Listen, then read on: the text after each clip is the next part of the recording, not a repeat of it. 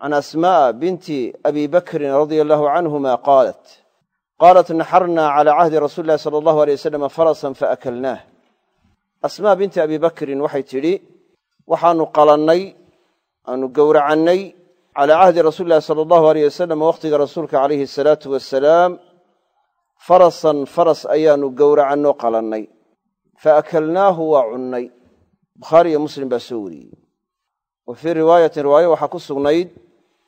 bukhaari iyo muslim ay soo wariyeen wa naxnu fi lmadiina waxaanu faraskaa qalannay annaga oo madiine ku sugan. Madiine ku sugan. Bal xadiiska kalena wuxuu ku saabsan yahay isla mawduucaasu ku saabsan yahay fardaha iyo wax kaleba. Marka bal isagana aan ku darno. Can jaabir bni cabdillaahi radia allahu canhuma ana rasuula allahi sala allahu aleyh wasalam nahaa can luxuumi alxumuri alahliya jaabir bni cabdillaahi waxa uu sheegay rasuulku sala allahu aleyh wasalam nahaa uu reebay can luxuumi alxumuri alahliya dameeraha dadla joogga ah hilibkooda ayuu reebay. Bimacnaa in la cuno hilibkooda ayuu diiday nebigu calayhi asalaatu wasalaam oo reebay. Waha cunina yidhi.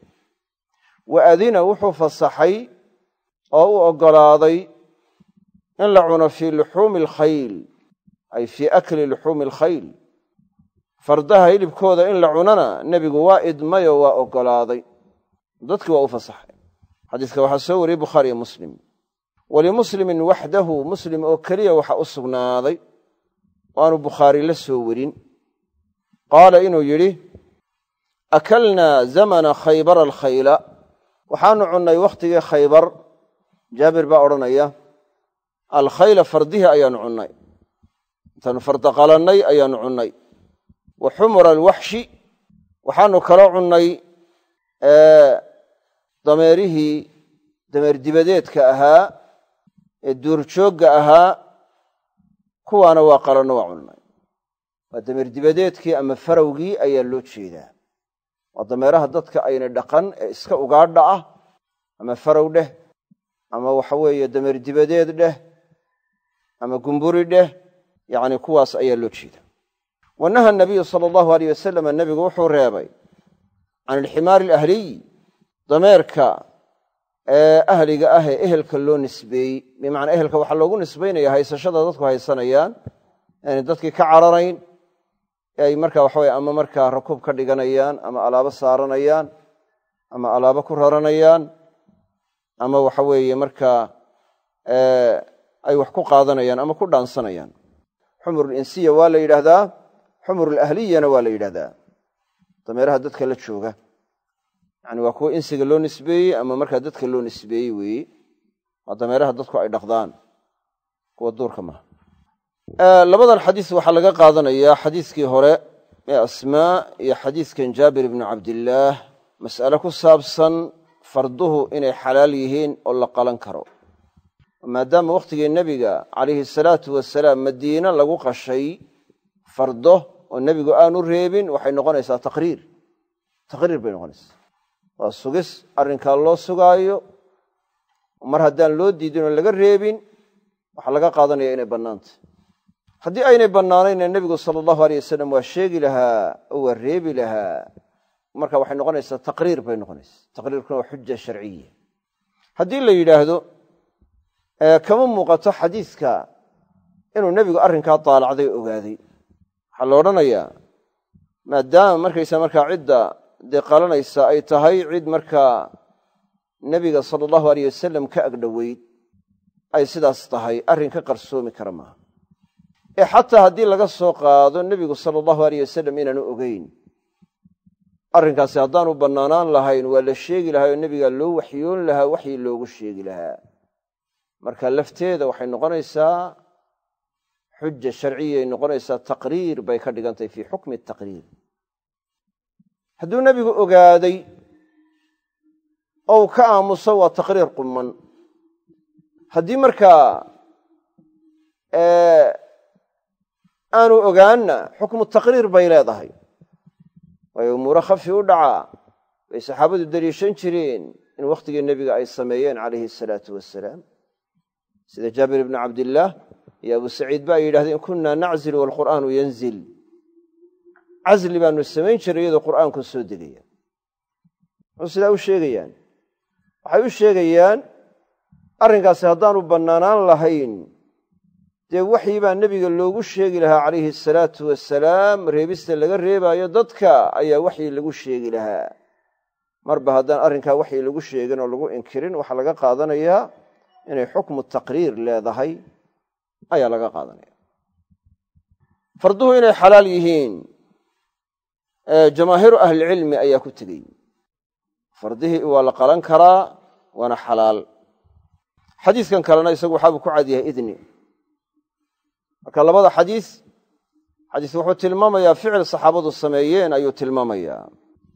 Sidaas ayuu tilmaamaya oo aan lagu inkirin wax inkaara la soo noqoy xadiiska labaadna wuxuu tilmaamayaa idan nebigu sala allahu aleyh wasalam uu idmay oo u oggolaaday saxaabada inay fardaha qashaan oo cunaan.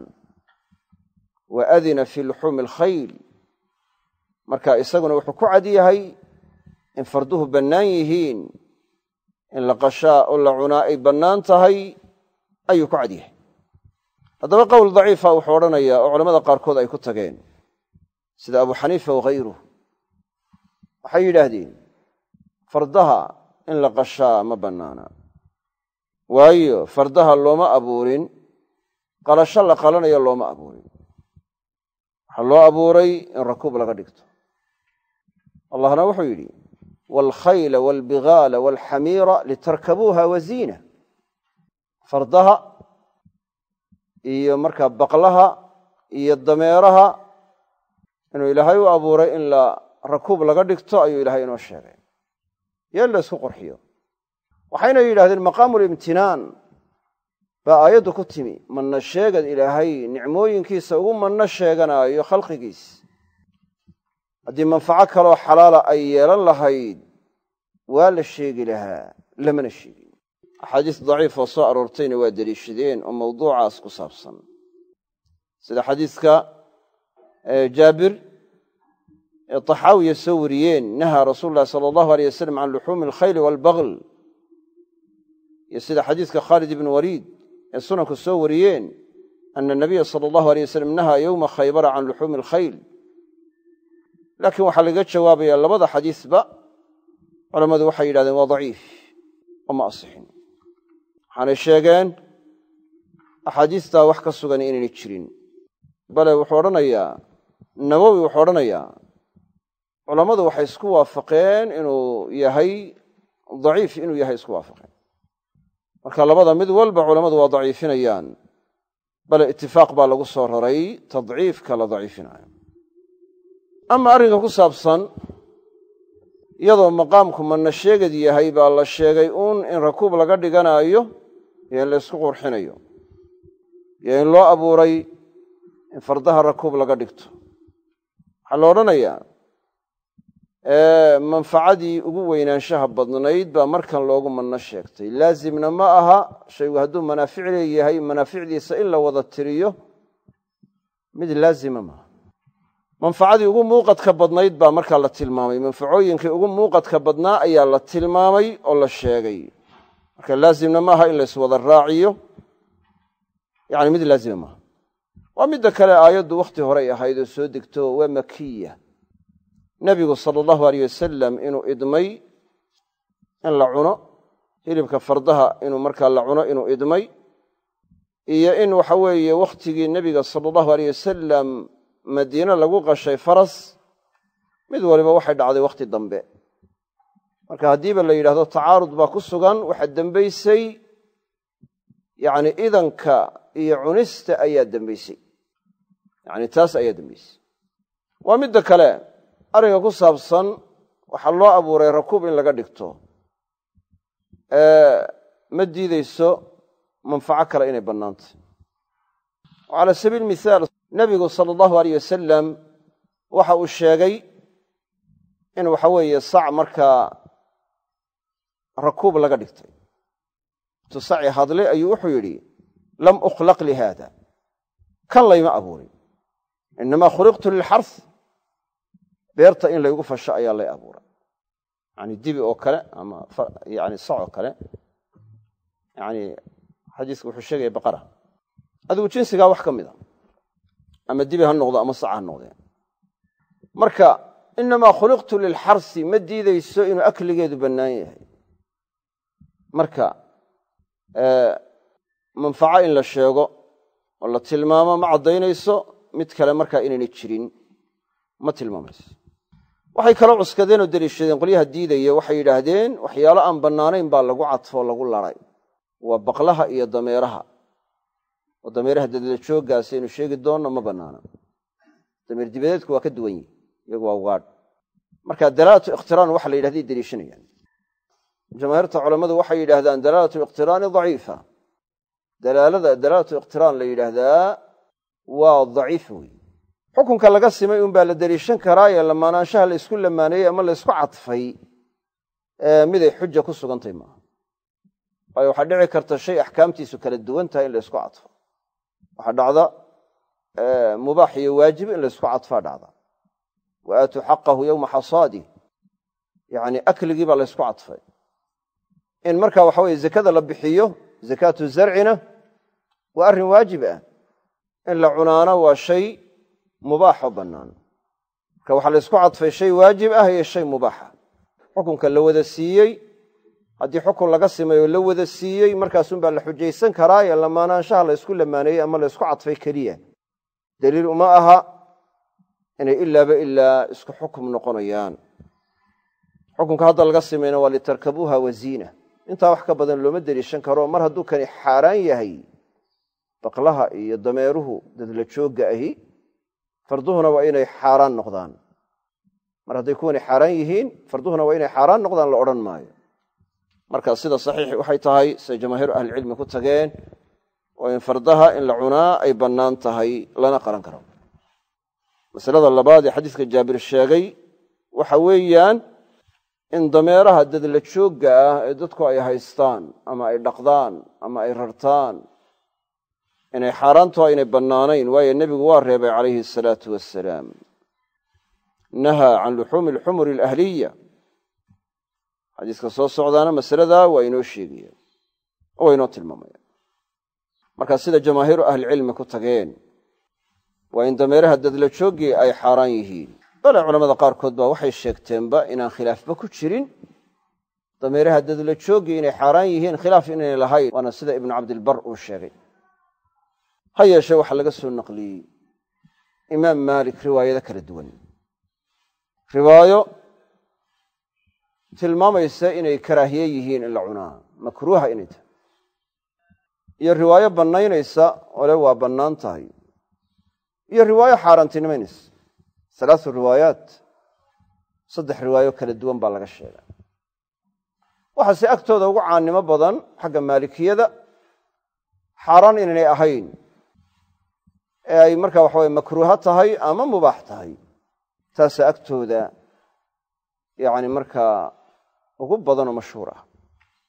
Marka imaam maalik riwaayadaha laga sheegayo riwaayada tilmaamaysa ama waa mubaax ama waa makruuh ama waa mubaaxa ama waa makruuha saa tilmaamaysa.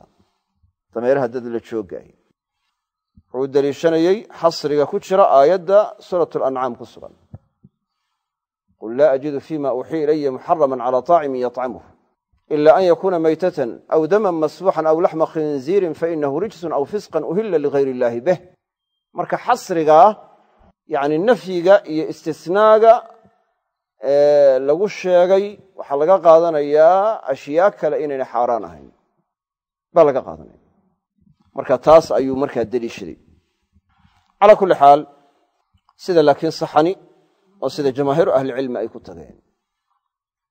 Sida jamaahiiru ahlicilmi ku tageen ayaa markaa saxan. Aayaddana waxaa lagu sheegay wakhtigaa intaasun inay xaaraan yihiin. Laakiin dib dambe waxba looma xaaraantinimaynayo lama odhan. Shaygii khilaafsanee la arko waxaa la odhanayaa waa arrin ziyaado ah oo markii dambe la soo kordhay weeye xukum soo kordhay weeyaan baa la odhanaya. Marka taasna sidaas yadaa weeye marka dameeraha dadla joogga ah hilibkooda lama cuni karo waana xaaraan. Labada xadiisee soo socdaana waa ku saabsanyin masaladaas. Masalada saddexaad ee xadiiska jaabir sheegay waxay tahay dameeraha dameer dibadeedka ah ama farowga gumburina waa la yidhaahdaaye iyagu waa ugaadh oo waa bannaan yihiin. Xalaal weeye dameerka farowga ama dameer dibadeedka waa la qalan karaa. Waa marka waxa weeye xalaal weeye ugaadh xalaala weeye wax dhibina kuma sugnaa culamada qaarkoodna waxay ku soo naqliyeen arrinka noocaasa in la isku waafaqsan yahay bay ku soo naqliyeen. Bacdu ahlicilmi saasay ku soo rareen. Nusuusta iyo adiladuna waa sheegaysaa oo xadiiskana waa tilmaamaya axaadiis kalena waa ku soo aroortay. Dameer dibadeedku inuu xalaal yahay bay ku soo arooreen. Marka taasna xukunkeedu saas yadaa weeye wax xumaanshay leedahayna ma jiro. Dayibaadkay ka mid waana min asayd waa ugaadh. Marka xalaal weeye saxaabadiina waa qasheen. Nebigana sala allahu aleyh wasalam waxbuu ka cunay. Yacni dameerka farowga waxbuu ka cunay kullu saydi fii jawfi alfara carabtu way ku mahmaahaano. Ugaadha kale dee inuu ka hilib badan yahay oo dee ka cajiibsan yahay. Ya ayuu markaa tilmaamaanoo mathal ku yidhahdeen waxay yidhahdeen saddex nin baa wax ugaadhsado markaasaa midba uu yidhi waxan baan ugaadhsaday waxan baan ugaadhsaday labadii kale markay faaneen buu wuxuu kii kale ku jawaabay kullu saydi fii jawfi alfara. Ugaadhoo dhammi ee farowga calooshiisay ku sugantay. Bimacnaa kanaa isku wada fuuqsaday inuu ka hilib badan yahay ayaa laga tilmaamaya marka waa nooc ugaadha ka mida xadiis waaba ka dhigeen qaarkood saas xadiisnimo ku soo aroortay laakiin xadiiska ma sugnaa. Waa mahmaahun mathalun weyi